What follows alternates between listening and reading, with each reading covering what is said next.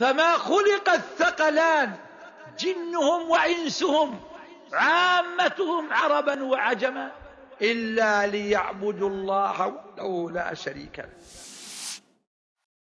أيها الإخوة العبادة من عظيم أمرها أنها لأجلها خلقنا. فما خلق الثقلان جنهم وإنسهم عامتهم عربا وعجما إلا ليعبدوا الله وحده لا شريك له.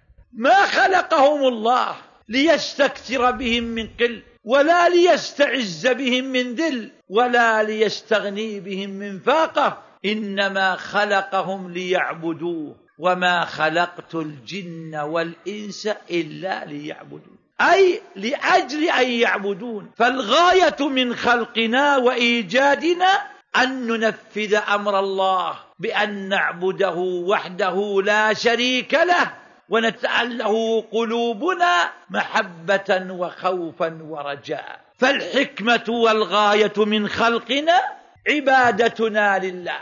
لكن منا من سمع وأطاع واستجاب فعبد الله وحده ومنا من أعرض عن ذلك. فمنهم من هدى الله ومنهم من حقت عليه الضلالة فالله فعل الأول بخلقنا على أن نفعل نحن الثاني بأن نعبده وحده لا شريك له. فخلقنا لهذه الحكمة وبعث الرسل إلينا ليعرفونا تلك العبادة. لكن من خلق الله من قبل ذلك فعبد الله وأخلص له الدين ومنهم من أعرض عن ذلك فضل سواء السبيل وما ربك بظلام للعبيد.